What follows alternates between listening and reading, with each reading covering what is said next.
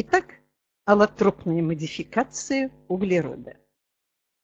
Аллотропия – это способность одного и того же химического элемента существовать в виде двух или более простых веществ, которые различаются по свойствам и строению. Термин этот в 1841 году ввел шведский химик Берцелиус. Его происхождение этого термина от греческих «аллос» – «другой» и «тропос» – «поворот», «свойства». Аллотропия присуща многим элементам. Это сера и кислород, кремний и фосфор, углерод. При этом углероду по количеству аллотропных модификаций равных нет. Да и вообще, ни один химический элемент не обладает таким разнообразием свойств, как элемент номер 6 периодической системы Менделеева – углерод. Ведь более 95% всех известных на сегодня химических соединений, э, более 95%, это все соединения углерода, 11 по распространенности на Земле. Но углерод обнаруженный в космосе. Его нашли в составе комет, в составе метеоритов. В атмосфере Венеры и Марса углерод в форме углекислого газа, а в атмосферах других планет, таких как Нептун, Уран, Плутон, он в виде метана и существует там наряду с аммиаком. По количеству аллотропов, как я уже говорила, углерода нет равных. Но некоторые из них известны хорошо, давно и во всех учебниках. Это алмаз и графит, и открытый позднее карбин.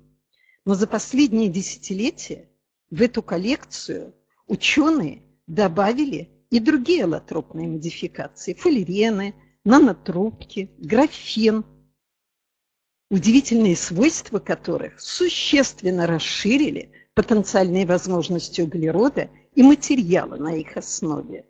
И учебники не успевают за этим потоком информации. Давайте начнем с наиболее известных. Здесь учебники успели соединения углерода, которые отличаются по строению и по свойствам. Алмаз – пространственная структура, плоскостная – графит, цепочечная или линейная – карбин. Алмаз. Происхождение названия этого, этой аллотропной модификации углерода от греческого «адамас» непобедимый, несокрушимый, что является очень серьезным указанием и убедительным на физико-химические свойства этой модификации. Алмазоподобным называют и каркасный углеводород адамантан за счет сходства кристаллической решетки. Он впервые обнаружен, выделен в нефти, из нефти является кристаллическим, летучим, высокая температура плавления, используется для производства оптических стекол, а его аминопроизводная – хорошо известный противовирусный препарат. Я думаю, всем вам известен. Ремонт-1. Но вернемся к алмазу. Ограненный алмаз, бриллиант, является драгоценным камнем. Правильная огранка приводит к тому, что лучи света распределяются подобно призме – на каждой грани маленькая радуга.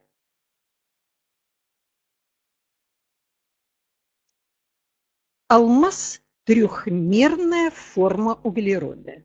Атомы углерода находятся э, в состоянии СП3 гибридизации и в вершинах тетраэдра расположены.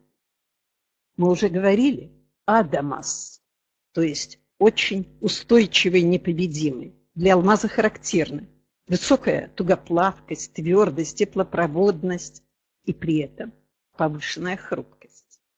Алмаз-изолятор. Считаю важным на этом сделать акцент, потому что потом мы сопоставим эту характеристику с другими аллотропными модификациями углерода. у алмаза есть уникальное свойство. Это самый твердый из природных минералов.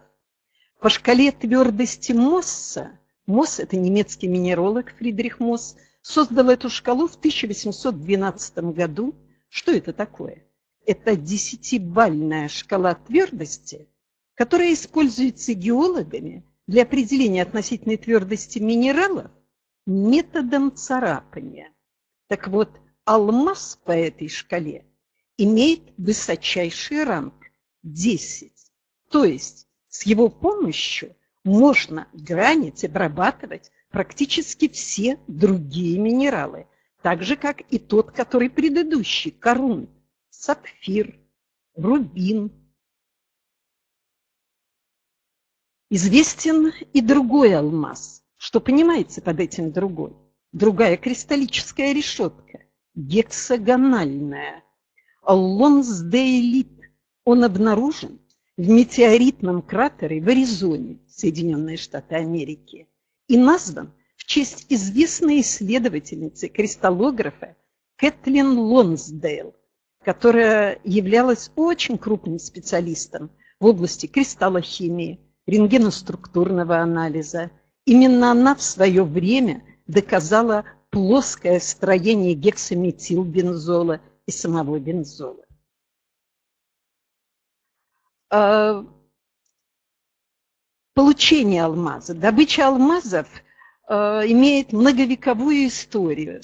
И по мере истощения разведанных уже месторождений и открытия новых, лидерство все время переходило от Индии к Бразилии, от Бразилии к Южной Африке алмазы, найденные в коренных отложениях возле города Кимберли, получили название кимберлитов.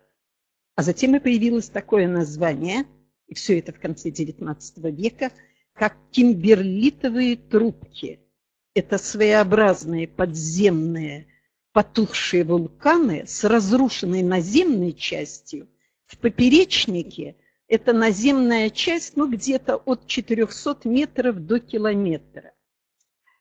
А, в России первый алмаз был найден 5 июля 1829 года 14-летним рабочим золотого прииска Павлом Поповым на Урале в Пермской губернии. Но настоящая, серьезная добыча алмазов, а, направленная началась во второй половине XX века, когда в 1954 году в Якутии было обнаружено э, довольно мощное месторождение алмаза.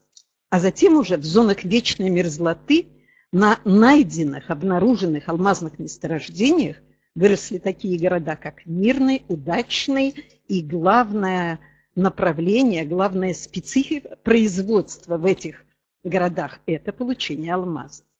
Начиная с 2006 года лидером при получении добычи алмазов является Ботсвана, независимое государство ЮАР, а следом за ними идет Россия. Потребность в алмазах в промышленном применении э, инициирует и искусственное получение алмазов. На сегодняшний день одно из основных направлений – это получение из плазмы и газа, а газ содержит 95% водорода и примерно около 5% углерод содержащего газа. Что это за газ? Ацетилен, пропан. И методология отработана. Э, кластерное или ионно-плазменное напыление алмазных пленок на режущие поверхности. Надо сказать, что за счет своей высочайшей твердости алмаз и находит, кроме того, что это э, возможность получить драгоценные камни, находит применение для производства режущих инструментов, сверл, э, ножей и так далее. Другая лотропная модификация, тоже хорошо известная, графит, от греческого графио пишу. Э, основное направление графита это использование грифелей, минеральные краски, электроды, смазочные материалы, катализаторы и адсорбенты, теплозащитный материал для ракет, материалы для создания атомных реакторов. В графите атомы углерода находятся в СП2 гибридном состоянии. Слоистая структура, двумерная форма. Атомы углерода расположены в виде шестиугольников, и это напоминает пчелиные соты, связаны ковалентными связями. Длина этих связей 0,142 нанометра. А вот расстояние между слоями существенно больше – 0,335 нанометров. Вот поэтому так легко отслаивается графит. Графит – одна из самых распространенных, повторюсь, и термодинамически стабильных модификаций углерода. Ну и э, строение, естественно, так или иначе указывает на возможные свойства. Мягкий, обладает металлическим блеском и, в отличие от изолятора алмаза, обладает высокой электропроводностью. И не хватает одного звена, долгое время не хватало. Алмаз – пространственная структура. Графит – плоскостная структура. Не хватало линейной, одномерной структуры в этом ряду.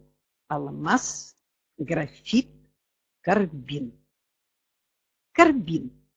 Что же это такое? Каковы его свойства и каковы методы его синтеза? Карбин существует в виде двух форм. Альфа-карбин, где тройные связи чередуются с простыми. Вот такой полимерный полиин и бета-карбин. А, кумулированные, кумулированные, значит, рядышком расположенные, кумулированные двойные связи. Альфа-карбин более стабилен, поэтому бета-карбин достаточно легко может переходить в альфа-карбин. Однако при высоком давлении, при высоких температурах возможен и обратный процесс. Менее плотная модификация альфа-карбин – перейдет в бета-карбин. Почему его так назвали? Карбониум, углерод. А суффикс «ин» всегда указывает на наличие тройной связи. Какими свойствами обладает карбин? Графит – проводник, алмаз – изолятор, карбин – полупроводник, линейный полимер углерода линейный полимер, но в его структуре имеются вот такие зигзаги под углом 120 градусов. Надо сказать, что получение карбина э, характеризуется долгой историей, иногда даже драматической. Одним из первых во второй половине XIX века карбин попытался получить известный немецкий химик Адольф Байер – в свое время Байер получил Нобелевскую премию за синтез индиго, а, но 1905 год. Но до этого момента еще далеко. 1870-1875 у Байера главная идея – получить полимерный ацетилен. А, эта попытка не увенчалась успехом. Ему удалось получить фрагмент Э, содержащий четыре полииновых звена и при этом крайне неустойчивый. Байер даже дал имя этому материалу – взрывчатый бензол. И вынес вердикт – получить такой материал не удается, и он не существует. Авторитет его был столь высок, что исследования в этом направлении прекратились. И лишь в 1930 году они вновь возобновились, что явилось причиной в природе были обнаружены в некоторых грибах, растениях низкомолекулярные полиины. Значит, сам по себе подобного типа материал возможен.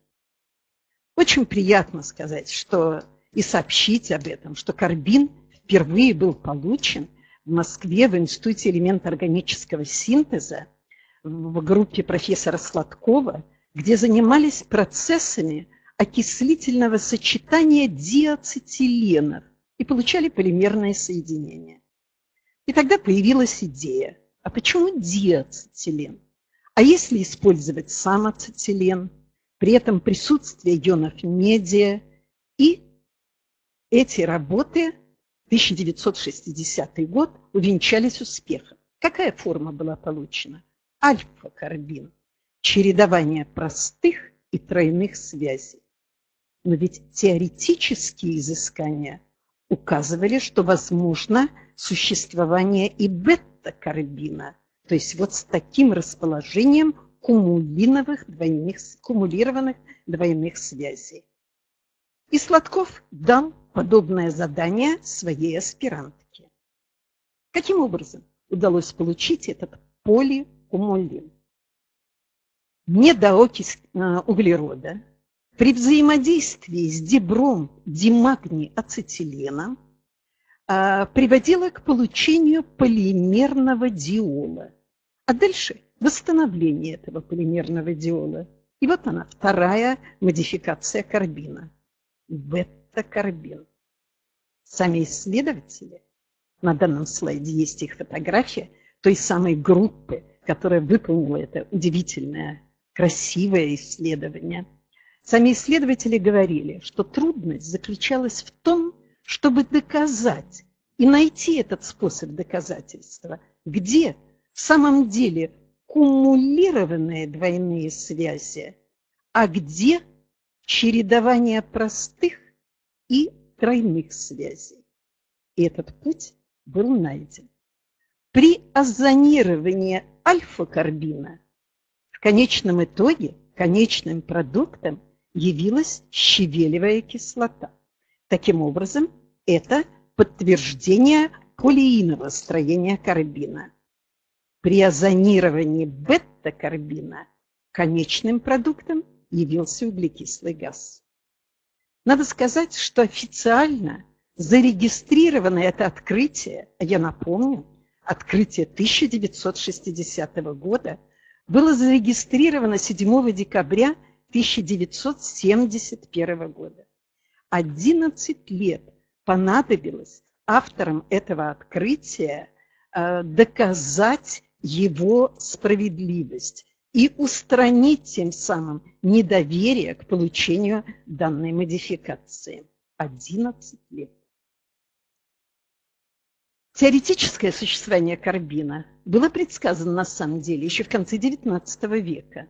Астрономы обнаружили признаки его присутствия в межзвездной пыли. В 1968 году ученые из Соединенных Штатов обнаружили в метеоритном кратере. Потом подобного типа работа была э, немецких исследователей обнаружение в Баварии. Его назвали «белый углерод». Обнаружили этот белый углерод и в качестве прожилок э, в самом графите. Глубоко были убеждены, что впервые получен этот материал. Новая аллотропная модификация, даже не подозревая, что в 1960 году уже был осуществлен ее синтез. Природный минерал получил название чаоид и представляет собой смесь двух разновидностей карбина – альфа и бета. Не так давно удивительно красивое, элегантное, а, я бы сказала, просто виртуозное исследование выполнили ученые из Вены. Линейная структура молекулы карбина помещена была внутрь двустенных нанотрубок углерода. Эти нанотрубки, которые окружают эту линейную молекулу карбина, защищали его от разрушения. Конечно, потребовались жесткие условия – высокие температуры, высокий вакуум.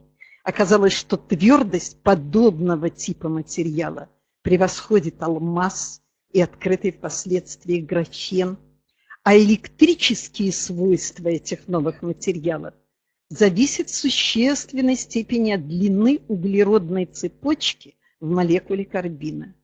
В 2003 году удалось синтезировать подобный карбин в капсуле из нанотрубок с количеством углеродных атомов 100 и это уже был восторг. Но этот результат превзойден. Сейчас это 6400 атомов. Ну и, скорее всего, это тоже не предел. Какова же сфера применения этой третьей аллотротной модификации карбина? Для карбина, наряду с теми свойствами, о которых я уже говорила, характерны ферромагнетизм, фотоэлектрические свойства, и фотоэлектрические свойства резко усиливаются при освещении. И карбин не теряет их даже при температуре 500 градусов Цельсия, а это существенно выше, чем у материалов подобного назначения. Поэтому первое практическое применение карбина – фотоэлемента, а также космонавтика, электроника, авиация, микроволновые электрические технологии, медицина. И это направление показали сами открыватели карбина. Разработали технологию волокон, что позволяет получать э, заменители, протезы, э, кровяно, протезы сосудов с очень высокой эластичностью и прочностью. Казалось бы, уже так много известно об углероде. Но оказалось, что это вершинка айсберга. И в этом прелесть любой науки, ну а в данном случае той, о которой я говорю. Удивительно увлекательна история открытия молекулы С60, фуллерена, молекулы футбольный мяч, как ее долгое время называли.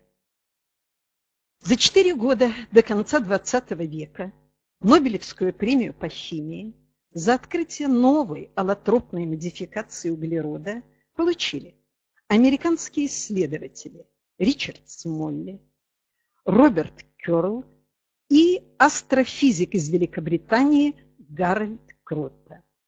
В глубоком вакууме, э, пульсирующей струей эм, э, в атмосфере гелия, обработка лазером графита – привела к получению этой новой аллотропной модификации. Образец был отдан на рентгеноструктурный анализ. Совсем другое состояние науки, конец XX века. Надо было ждать два дня. Но у истинного ученого, и сейчас я имею в виду Смолли, который написал статью, вызвавшую у меня очень большую эмоциональную реакцию, у истинного ученого нет терпения. Смолли просыпается среди ночи. Что это за молекула С60? Как эти 60 атомов углерода сформировались в одну какую-то конкретную молекулу? И тут, и вот это, вот это то, что его осенило, наверное, не поддается никаким исследованиям, ни научным, ни со стороны психологов. Тут почему-то он вспомнил, что Гарольд Крота рассказывал ему, что подарил своему маленькому сыну металлический конструктор, который состоял из пяти и шестичленных металлических циклов. Что делает этот ученый в два часа ночи? Он берет картон, ножницы и готовит соответствующие блоки, то есть вырезает пяти- и шестичленные картонные циклы, предполагая, что в узлах находятся атомы углерода и пытается их как-то приладить друг к другу. И когда С-30 уже реализованы в его модели, получилась полусфера. Еще С-30 получилось то, что мы потом стали называть, и весь мир стал называть молекула футбольный мяч. Хотелось срочно поделиться с кем-то своей радостью. Ну, конечно, надо подождать эти два дня. Придут данные рентгеноструктурного анализа, и мы узнаем, что это за молекула. Но у Смоли нет терпения. С кем ему хочется посоветоваться? С деканом математического факультета и задать вопрос, известны ли математикам подобного типа структуры. Не дождавшись утра и тем самым не вызвав восторг у того, к кому он обратился, он все-таки позвонил, и недовольный голос ему ответил, да, известный, это усеченный икосаэдр. А через два дня пришел результат. Пришел именно тот результат, который спрогнозировал ученый. В составе молекулы фуллерена 20 шестичленных циклов, 12 пятичленных циклов. Каждый шестичленный цикл граничит с тремя пятичленными и тремя шестичленными. А вот пятичленный цикл в качестве соседей по его граням содержит только шестичленные циклы. Плотность этой новой модификации существенно меньше. Меньше, я имею в виду меньше по сравнению с графитом, с алмазом, 1,65 грамм на сантиметр кубический. И понятно почему это каркасная структура. Длина углерод-углеродных связей, ну, скорее всего, близки к бутадиену. 0,143 нанометра, 0,139 нанометров. Молекулу и этот новый материал, который получили по предложению Нобелевского лауреата э, Крота, назвали длинное название Букминстер-Фуллерен. В своей Нобелевской лекции он объяснил, объяснил, почему это так. При обработке экспериментальных данных наше внимание вскоре привлекло появление незваного гостя. Он состоял из 60 атомов углерода. Содержание С60 в кластерном пучке определенно превышало содержание соседей. Идея замкнутой гексагональной клетки напомнила мне о моем посещении Всемирной выставки Экспо-67 в Монреале, над которой возвышался купол, построенный архитектором Бакминстером Фуллером. Мое предложение назвать молекулу Бакминстер-Фуллерен было принято, и мы отправили статью в журнал Nature. Итак, открытие фактически и имя новой аллотропной модификации. Все это посвящено американскому архитектору, он умер за два года до открытия этой новой модификации, а, Бакминстеру Фуллеру, который прославился своими знаменитыми геодезическими куполами, включающими шести- и пятичленные циклы, Э, и архитектурой, собственно, э, тех зданий, где проходили научные конгрессы. Посвятили э, Букминстеру Фуллеру именно в период открытия Фуллерена и соответствующую марку. Давайте посмотрим. На данном слайде представлена схема геодезического купола, который э, начертил вначале, потом реализовал Фуллер, основанное на архимедовом усеченном икосаэдре. И вы можете хорошо разглядеть здесь и пяти, и шести членные циклы. Интересно, нобелевские лауреаты осуществили ретро-путь, то есть после того, как уже была получена Нобелевская премия, они, конечно, заинтересовались тем, а были ли эти идеи у каких-то других ученых? Ведь невозможно, чтобы об этом не задумывались. Ну и кроме того, они обнаружили образ Фуллерена и в рисунках Леонардо да Винчи. Фуллерин С60 – самоорганизующаяся молекула. Это очень интересная область химии. Может быть, когда-нибудь удастся нам встретиться и по этому поводу – и я бы прочитала лекцию о самоорганизации э, и подобного типа структурах в химии, ну а пока о фуллерене, который является самоорганизованной структурой. Смолли в своей Нобелевской лекции, а я хочу напомнить, что Нобелевские премии вручают 10 декабря в Стокгольме, в день смерти учредителя этой премии такого высокого ранга Альфреда Нобеля – и э, номинанты должны прочитать Нобелевскую лекцию, прочитать популярно и строго, это самое трудное, против истины не погрешить, И вот некоторые фрагменты из Нобелевской лекции Смолли. По сути, открытие, удостоенное Нобелевской премии, состояло в установлении факта, что углерод один без посторонней помощи образует молекулы в форме усеченного икозаэдра. Углерод с момента возникновения Вселенной одарен этой способностью к самопроизвольной сборке молекул фуллерена. Если создать из атомов углерода пар и дать ему медленно конденсироваться, то один из эффективно реализуемых каналов приводит как раз к образованию сфероидальных фуллеренов.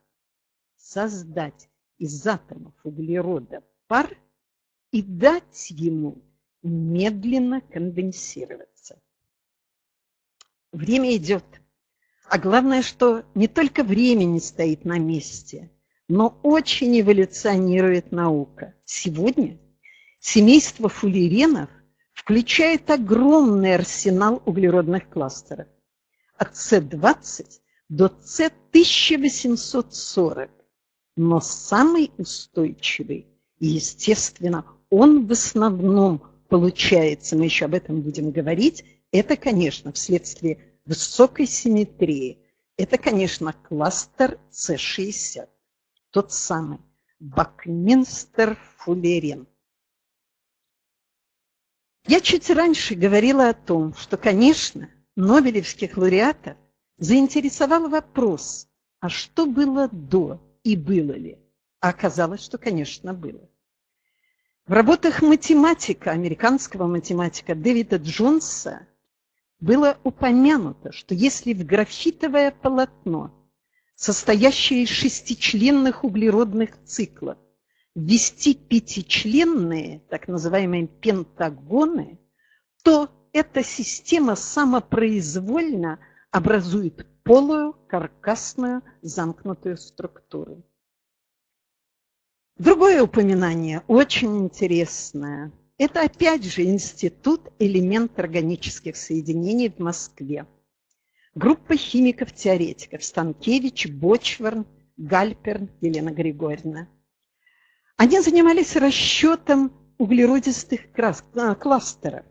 По поручению академика Несмеянова необходимо было установить, можно ли внутрь полости этих кластеров поместить металлы и тем самым решить ряд проблем экологических, проблем окружающей среды. Была рассчитана молекула С20, выяснилось, что ее полость недостаточна, и работы такого направления прекратились. Но прошло некоторое время, и один из авторов открытия, его здесь нет в составе этой статьи, ну, не так открытие, как именно этих исследований, Станкевич, он тоже потом давал интервью Нобелевским лауреатам. А Станкевич был не просто химик-теоретик, а еще был очень заядлый футболист. Он дал в своем интервью следующее. Он сказал, я очень хорошо помню, а все это были молодые ученые, химики, теоретики, как я вошел в нашу лабораторию, держу в руках футбольный мяч и обращаюсь к Елене Гальпер и говорю, Лена, вот этот мяч пинают ногами 22 здоровых парня, и с ним ничего не происходит. А может быть и молекула такая существует? Попробуем ее рассчитать. Ее рассчитали. Это молекула С60. Статья была опубликована в очень представительном журнале «Доклады Академии наук». И вердикт автора. Молекула гипотетическая. Ну и, наконец, японский химик Асава. В 1970 году в японском журнале «Кагак» опубликовал свою статью «Путь к синтезу молекулы С60», а потом выпустил книгу, посвященную ароматическим соединениям. Там была отдельная глава, посвященная молекуле С60. Но работы на японском языке научной общественности были недоступны. Поэтому Когда у Асава брали интервью, я взяла фрагмент и поместила его на один из слайдов. Вот что он ответил. Когда вы впервые узнали о работе Крота с авторами? Ответ. Сразу же, как только их статья появилась в журнале Nature. Вопрос. Что вы чувствовали в этот момент? Ответ. Это был худший день в моей жизни. Я был просто шокирован, увидев изображение молекулы в этой статье. Я почувствовал себя так, будто кто-то украл моего ребенка. Это был черный день в моей жизни. Это и понятно. Никакого плагиата не было. Но открытия, конечно, сопровождаются озарениями других, одних, отчаяниями других. И я думаю, нам каждому это понятно. Что же это за новый материал? Фуллерен выдерживает высоченное давление до 20 гигапаскалей. Капсулы для введения лекарственных препаратов, предполагается, могут быть созданы на основе фуллерена. Некоторые уже есть. Соединение щелочных металлов с фуллереном С60М3 полупроводники называются фуллериды. А если температура ниже 18 Кельвина, они становятся супер сверхпроводники. Сверхпроводником при 33 Кельвина является и рубидий цезий-2 С60. На основе фуллерена в настоящее время создано огромное количество новых органических соединений. Гидрирование, галогенирование, окисление – получение модификации фуллерена соединениями гидрофильной природы. А вообще, в принципе, различные типы взаимодействий, которые склонны для фуллерена, можно в самом общем виде подразделить на две группы. Первая, та, что вот в данной схемке, получение различных производных, модификация фуллерена, где образуются соединения и формируются ковалентные связи. А второй тип – это комплексообразование по способу или по типу гость-хозяин. Гостевой молекулой является та, которая включена в полость большей по размеру молекулы, молекулы хозяина. Так вот, фуллерин может выполнить и ту, и другую роль. Быть гостевой молекулой быть молекулой хозяина. Еще одно интересное свидетельство нобелевских лауреатов. Гарольд Крота высказал предположение, а потом его подтвердил на лабораторных животных, что когда в Чернобыле была эта страшная авария, горел графит, высоченные температуры, образовывались шарики фуллерена, и при этих высоких температурах створки углерод-углеродные могли разрываться, и внутрь, как птица в клетку, попадал радиоактивный стронций-90. И вот в этой гидрофобной подушке он мог легко проникать через гидрофобные мембраны человека. Итак, в этой конкретной ситуации, на этом конкретном примере, я показала, как фуллерен – выполнил роль молекулы хозяина. Обратите внимание, никаких ковалентных связей.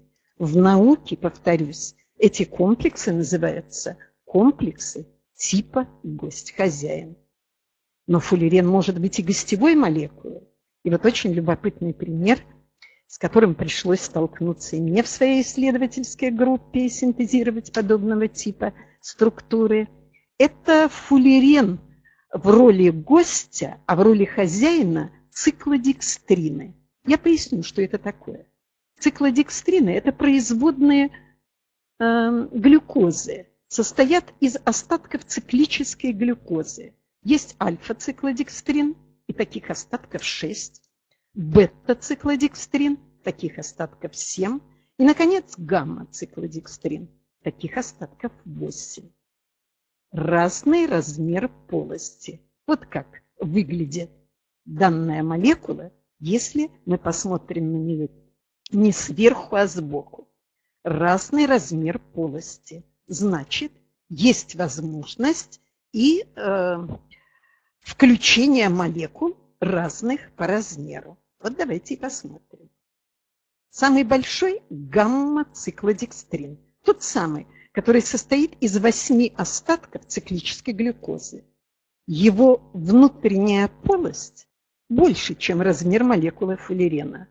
И фуллерен, как в баскетбольную сетку, спокойно проникает в эту полость. А вот следующий по размеру бета-циклодекстрин, он меньше, чем молекула фуллерена. И подобного типа система дает так называемый сэндвичевый комплекс. Две молекулы циклодекстрина и фуллерен. И опять же, вы видите, что в этих комплексах никаких ковалентных связей, а фуллерен выполняет роль гостевой молекулы. Умению, искусству и фантазии химиков-органиков нет предела. Синтезировано, как я уже говорила, огромное количество соединений. А, изучены их свойства, найдена сфера применения. Вот один из примеров. С участием молекулы С60 синтезированы новые, весьма красивые циклические полиины. Мы видим, что вот в этом шестичленном цикле только остатки алкинов, ацетилена. Никаких атомов во всей этой молекуле, кроме углерода, нет. И так синтезированы циклические полиины, содержащие в качестве заместителей шарики фуллерена. Соединение обладает высокой проводимостью.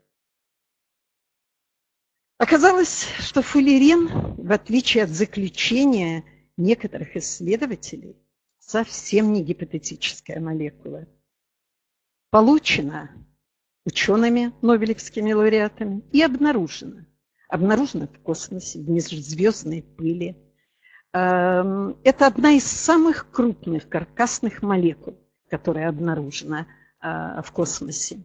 В 2015 году группа швейцарских и немецких исследователей, возглавляла эту группу Джон Майер, доказали присутствие положительно заряженного фуллерена С60+, в межзвездном пространстве.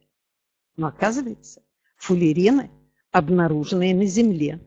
Фуллерены найдены в карельских шунгитах. Фуллерены найдены в фульгуритах в Соединенных Штатах, в Индии и в донных отложениях, возраст которых более 65 миллионов лет. Согласитесь, удивительно захватывающая и интересная история.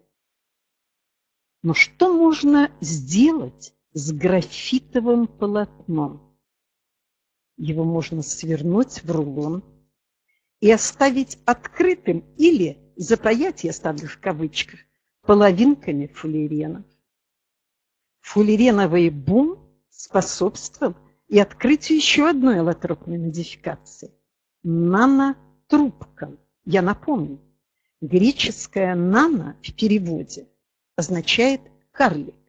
Одна миллиардная доля. Один нанометр – это 10 в минус 9 метра. Вначале были открыты многостенные или многослойные э, нанотрубки, и более того, трубки разных размеров, когда одна вставленная в другую. Они даже получили название «русская матрешка». А несколько позднее были обнаружены и одностенные или однослойные нанотрубки. Как? Каким образом?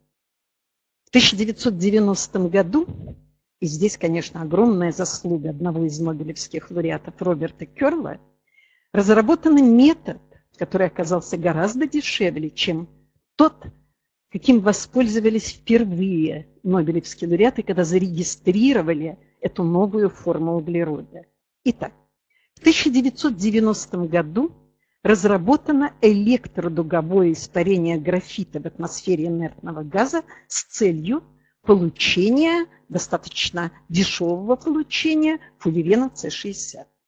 Обнаружено, что наряду с С60 15% фуллерена С70, который имеет такую немножко эллипсообразную форму.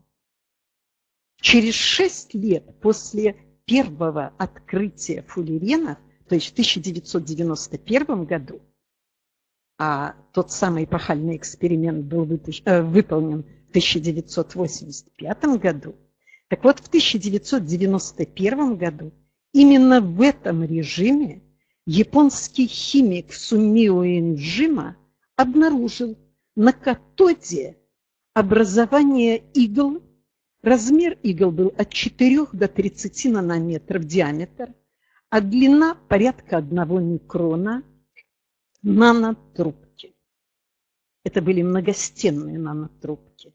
И долгое время научная общественность говорила, что вот-вот Исумио Энджима получит Нобелевскую премию за свое открытие. Но этого не произошло, и, по-видимому, одна из причин следующая.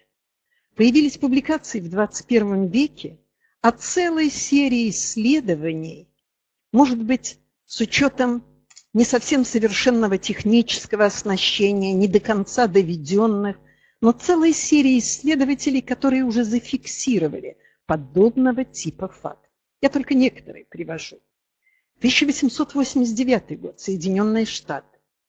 Выдан патент на получение трубчатого углерода пиролизом смеси метана и водорода в железном тигле.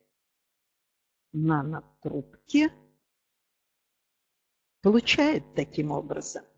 Только не просто метан, а используется сейчас другой газ.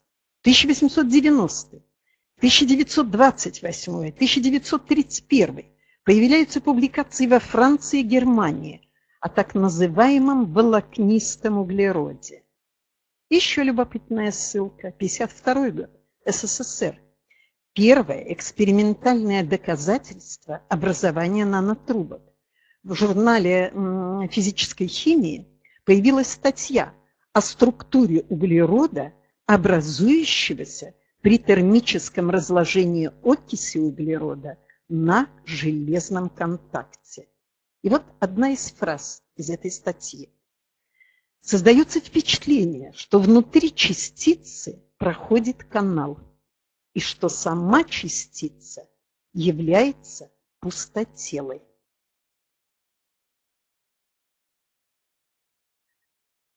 В книге рекордов Гиннесса есть э, отдельная, отдельный раздел, посвященный рекордам в естественных науках. Физика, химия, биология. И больше всего информации посвящено нанотрубкам и э, фуллерену. Неудивительно, что профессор Северного Техаса а, в 1999 году Петер Буцлов сочинил даже такие поэтические строки, которые в переводе означают «Мы рассуждаем, однако недооцениваем тайну, о которой спорим, о сплетенной природе нанотрубки из простого углерода». Эти эмоции, конечно, можно понять. Я говорила о том, что нанотрубки классифицируются на одностенные и многостенные, или однослойные, многослойные. Есть и другая классификация. А, стенки нанотрубок, а, выложенные э, сетками шестичленных циклов, точно такими же, как в графите. То есть такие же расстояния между углерод-углеродными атомами этими ячейками. Но отличаются, и здесь приведены три типа, эти нанотрубки тем, что две стенки каждого шестичленного цикла могут быть относительно оси, я говорю об однослойных нанотрубках, расположены по-разному, параллельно, перпендикулярно, конформация кресла реализуется. И вот эти два типа нанотрубок называются А хиральные, греческое «а» – «не». Ну, наверняка, если меня сейчас слушают химики, знают, что такое хиральность, от греческого рука, хирург, хиромантия. В органических соединениях мы довольно много говорим об этом невероятно важном и интересном явлении, определяющем э, биологическую активность и оптическую активность многих соединений. Так вот, наиболее часто встречаются хиральные нанотрубки. В хиральных две стороны каждого шестиугольника образуют с осью этого цилиндра угол в интервале от 0 до, 300, до 30 градусов. Любая из таких нанотрубок, это э, характерно для любых хиральных объектов, не совмещается с своим зеркальным отображением. В 2008 году в Японии удалось синтезировать самые маленькие нанотрубки. Диаметр – 0,43 нанометра, а потом еще меньше.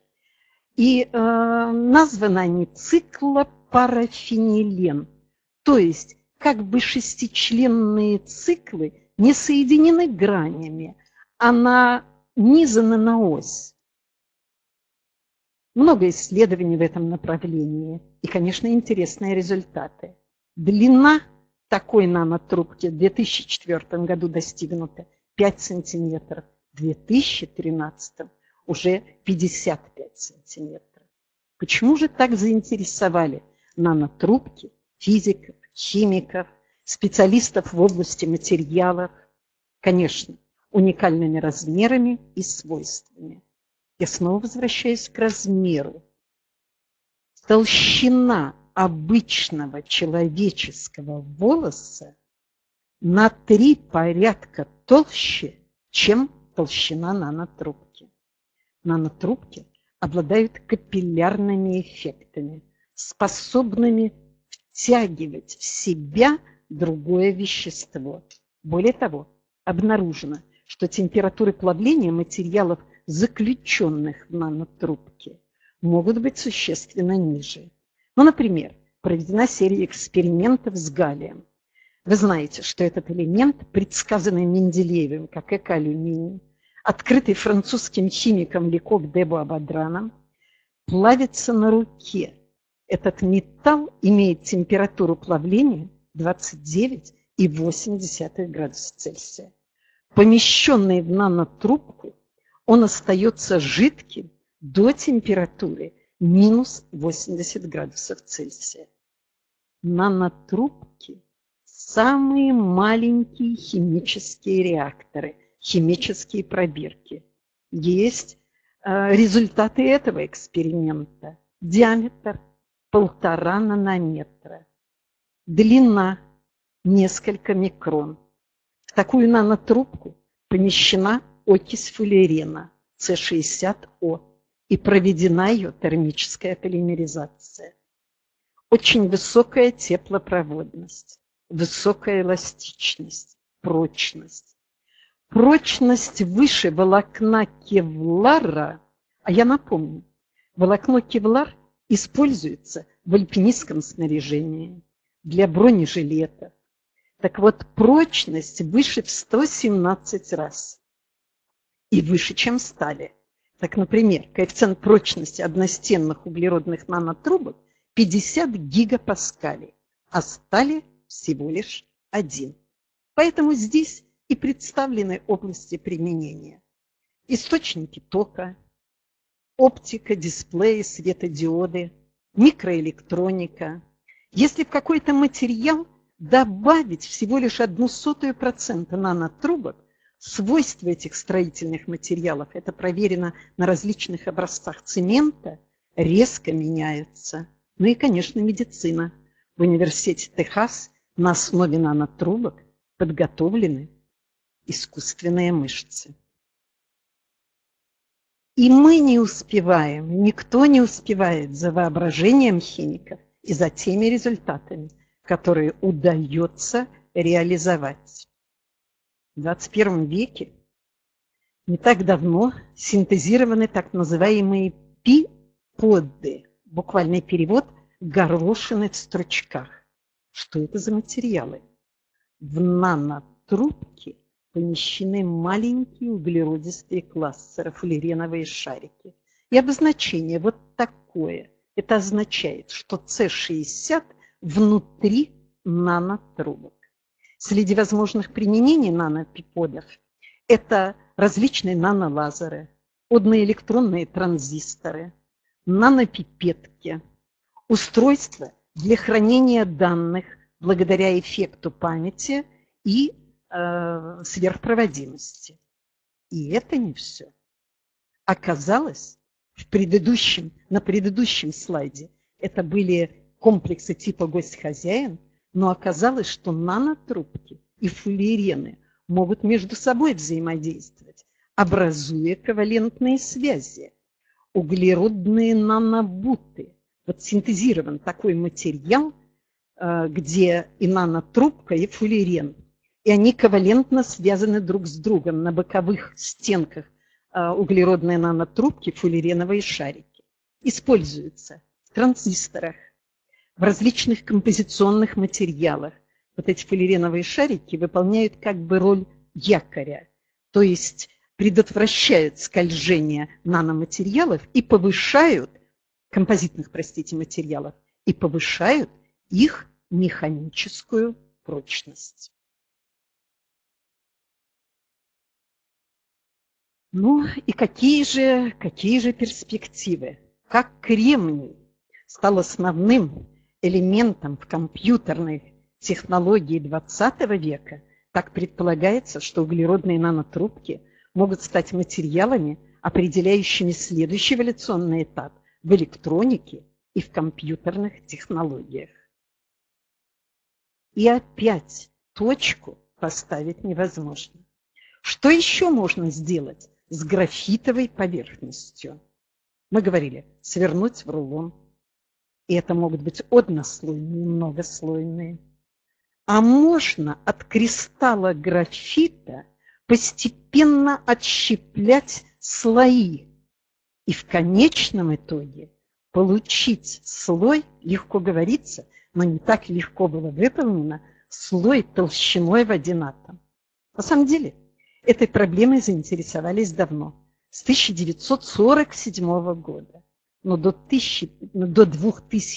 2003-2004 года убедительных, красивых результатов не было получено. В 2010 году Нобелевскую премию по физике за открытие и исследование свойств графена новой аллотропной модификации двумерной формы углерода толщиной в один атом получили Константин Новоселов и Андрей Гейм.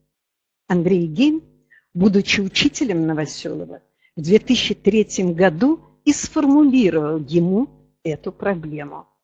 Новоселов был его аспирантом.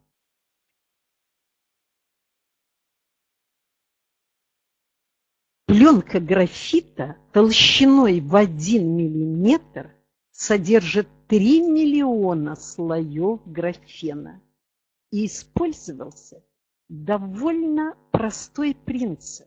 Говорят, все простое, элегантно и уникально. Но к этому простому надо подойти. Надо это обнаружить, надо это увидеть. Очень простой принцип. То есть на подложке графит, скотч, скотч прилепляется, отдирается, и какие-то крупиночки графита остались на скотче, и продолжается эта процедура. Какие свойства графена? Уникальные электронные свойства. По жесткости превосходит алмаз. Основа для сенсорного экрана или электронной бумаги. На основе графена органические светоизлучающие диоды – на основе оксида графена сейчас создано и в нашей стране довольно много таких работ различных сенсоров, транзисторы, различные логические устройства. Вот такой многоликий углерод. На слайде, который представлен здесь, появились следом за этим углеродом, за графеном ближайшие родственники. 2014 год, Германия, 10 э, то есть Германии под названием германен, но логика та же, что у графена. Силицен 2010, фосфорен 2014 год, 2015 станен и борофен. Предполагается, что силицен может быть использован для увеличения мощности компьютерных чипов. Германен увеличивает э, за счет своих очень высоких полупроводниковых свойств, может быть использован в квантовых компьютерах, в натрионных аккумуляторах. Борофен, он по внешнему виду напоминает такой гофрированный картон и обладает анизотропией свойств механических и электронных. Это означает анизотропии. Что это означает? Это означает, что эти свойства могут меняться в зависимости от направления. Э, используется в различных, будет использовано новый материал, в различных фотоэлектронных устройствах, наноэлектронных устройствах. Вот они, аллотропные модификации углерода, собранные вместе, карбин, графит, алмаз, фуллерен, многослойные однослойные нанотрубки. И вот то, что на их основе создано. Следует ли продолжение? Конечно, следует. Совсем недавно американские исследователи при поиске дешевых путей получения искусственных алмазов обнаружили новую аллотропную модификацию – Q-карбон, которая обладает ферромагнетизмом, светится в темноте, свойства сфера применения изучаются. Таким образом, мы с вами с уверенностью можем сказать, что продолжение следует. А вам спасибо за внимание.